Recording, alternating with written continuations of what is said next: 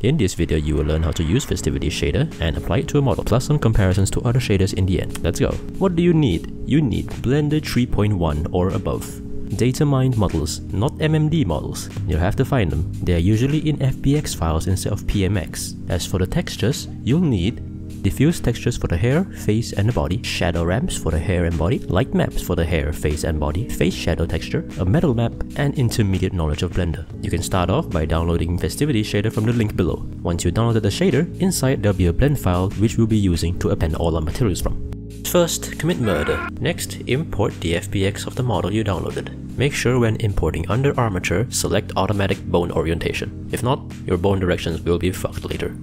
After importing, press A to select all, then Alt S to reset the scale. You should now see your model covered in porcupines. In the outliner, go to select the filter, deselect object contents, object children, meshes, and armatures. After that, with your mouse hovering over the outliner, press A to select everything and delete. Your model will now be depressed. You can re-enable the filters just now. After that, rotate the armature or the model to its original upright position you can get rid of the effect mesh and eye stars. Uh, I usually just use to put them into a uh, unused collection. I mean, who knows, they might come in handy later, I don't know, I never use them. And now we're gonna finally apply the shader. Append these following materials from the shader file that you downloaded. Once you press append, these wonderful things should pop up. Next, select the model, and under materials, change materials to their corresponding materials which you just appended. If the model you're using doesn't already have those textures, You'll have to manually assign the textures to each vertex and face. Good luck. You can probably bring an MMD model for reference or to do some sort of data transfer, but I am not an expert at that. Repeat this for the body, face, and the brows.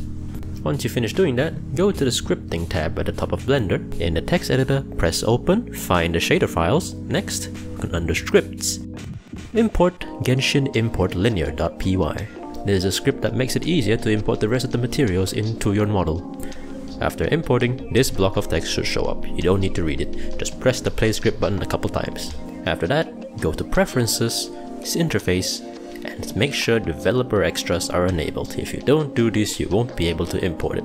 Now make sure all the textures you downloaded for the model, they are all in one folder. Once you've done that, go back to Blender, press F3, type in Genshin, and that should be the first result that shows up. Click it. Navigate to the folder which you just saved your textures to and press import you should be done. Go into render view and voila. It's all textured. Hmm, yeah, that's a good fucking shader right there. Though if the script doesn't work, you can always forego it and import the materials yourself. Just go look into the shader nodes and try and figure it out. It's easy enough. Of course, remember to set your color management to standard to make it look less bland. So what actually are these empties? Well, the arrow you see, it's basically a light source, right? Use that empty to control where the light hits the model. As you can see, all the shadows correspond according to the light, as well as the face shadows. However, there's still one tiny issue. You'll notice that if you move the head bone, the face shadows don't change according to the rotation of the head. But that's an easy fix. First, select the armature, then make sure in viewport display it's in front. Next, in pose mode, select the head bone. Then press Shift S cursor to select it. The 3D cursor should now be at the base of the head bone. Next, select the empty, press Shift S selection to cursor. Will now move the empty to the 3D cursor. Next, with the empty still selected, go into the constraints. Under child of constraint, you'll see it's an empty spot.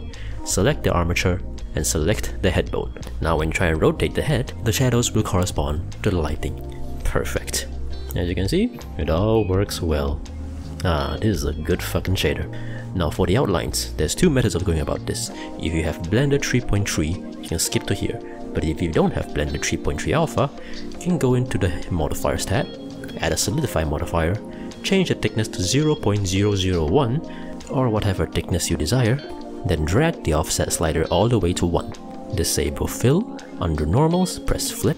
Now go into the materials tab and add the Genshin outline materials. Make sure it's below the materials you want to add outlines to by the way. Now go back to the modifiers and under materials, set material offset to 1. And bam, you should have some outlines. To change the color, go back to the materials tab, go to the outlines material, and there you can change the colors. Now repeat that for every single model and material you want to add outlines to. Now you'll notice an issue where the eyes aren't actually outlined correctly. To fix that, select the face, go into edit mode, and select the vertices you don't want to give an outline to. Next, in the vertex tab, go and make a new vertex group and name it something like no line. Then press assign to assign the selected vertices to that vertex group. Now go back to the modifiers tab, under vertex group of the solidify modifier, select the vertex group you just made and press the invert button on the side of it. And that vertex group will determine where you don't want the outlines to be. You can fine tweak this yourself by going into weight painting mode. Now if you're on Blender 3.3, Festivity has figured out a better way to do it. The fucking mad lad. First you set up your model as usual until the outlines part. Next go to File, Append, and find the downloaded shader. In there, you should be able to find something called Experimental 3.3. Open that folder, then open the blend file inside, then go into Node Tree and append MiHoYo outlines. Next, select the model, go to the Modifiers tab, and add a Geometry Nodes modifier. In the Geometry Nodes modifier, next to the New button, press that little button and select MiHoYo Outlines. Click the little button next to Vertex Colors, then click the blank space next to it and type in COL col. Next, you'll see that there's outline mask and outline materials under the modifier. Follow me and input the materials as follows. Repeat this for every single model that you want to add outlines to. Now your model does have outlines. However, if you want to change colors, simply go to any model and add a new material and add the outline material. From there, you can edit the outline material color to however you want. The benefits of using the geometry nodes method, it's less finicky than the solidify modifier and if you're using a data Datamines model, you won't have to deal with the issue of such as the eyes or the lips having incorrect thicknesses, which we had to solve by assigning vertex groups earlier. And that's it for the outlines. Now what do I think of this shader? For one, the shader is pretty fucking good. It replicates the Genshin shader pretty fucking well and doesn't lag my computer out. Currently, there are 3 shaders on the community that try to emulate the Genshin shader. Here's a quick side-by-side -side comparison between the three of them. The first one is Ben Ayers shader, the middle one is Festivity's shader, and the third one is Xiao Erling's shader which I have done a tutorial on before. For my Lumine video, I used Ben Ayers shader, while for the Beidou one, I used a combination of Ben Ayers and Xiao Erling's shader. Now I'll try to list out the pros and cons of each shader so that you can make your decision on which to use. For Ben Ayers shader, it's not necessarily the best at replicating Genshin's shader, however what it does is to make a shader that emulates it but not perfectly. You can also use this with any model, not just Genshin ones, which the other two shaders can only work on. This shader is suited for you if you want something that kind of looks like Genshin, but it's, you can still creatively control it as much as you want. It has a lot of nodes and you can figure it out and you can use it to modify anything you want. Now the cons of this shader is that it costs money, but it's cheap, okay? Support the guy. Dude's awesome and it also doesn't use fake lights, which can lead to some unfortunate shadows happening, especially in the face area. Next on Festivity Shader, it does a pretty good job of accurately uh, recreating the Genshin shader. It uses light maps so it ensures that the shadows are all pretty fucking accurate, especially the face. Holy fuck, I don't have to bother with doing this face shading anymore. Here's a quick animation I made to show off the shader. Probably make something more out of it. Now the downside of this shader is that it's not very creatively controllable. It has a lot of nodes, I don't know what most of them do.